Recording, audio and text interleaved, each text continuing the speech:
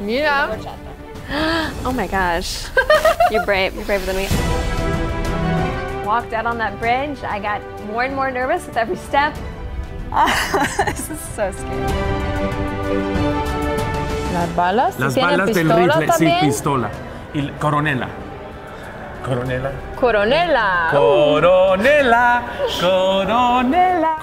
No quiero. She had a little difficulty with it, I'll put it that way. Uh, bless her heart, I think she just got up there and thought about it, overthought it, and couldn't exactly take the leap. Poor girl. What you're struggling with. Do you want to do it or not? No. Be honest. No, No, you don't want to do it? but I don't want to go down like this. Uh, the only way down is this or that. And this one's this one's fun. The next thing we checked out was really cool. It was called Paseo del Viejo Oeste, or uh, Walk Through the Old West, if you will. It was really cool. You walk up and you feel like you're walking into like every every small town from the Western USA or North America. It's like that little town that you see on every Western with like the wooden storefronts and the saloon with the swinging doors and the, the saloon girls and the, you know, the horse riders and everything, the hitching post.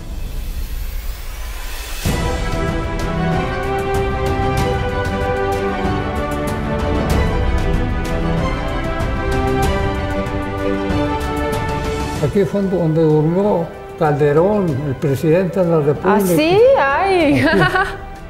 Aquí fue donde durmió, pero ahora verá. Según estaban los. eh, había juiciales y soldados y estaban ahí en la puerta y luego que, que salió que le dijo: "Digo, ¿Qué pasa? ¿Qué, qué pasó? No, nada, jefe. ¿Cómo no si me descobijaron?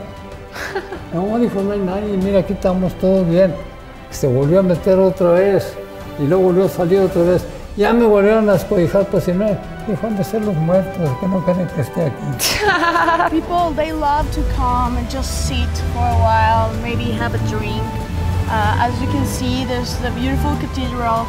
She's the tallest, one of the tallest uh, cathedrals at the north part of the country. And when we came to the bridge, it reminded me of the bridge we have in Croatia in Dubrovnik. It's a new bridge as well, like the one they have in Durango.